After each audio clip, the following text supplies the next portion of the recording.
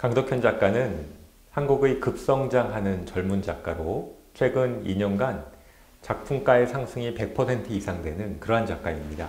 그는 카인 스트레스, 즉 스트레스가 없는 이라는 슬로건으로 작품 활동을 하고 있습니다.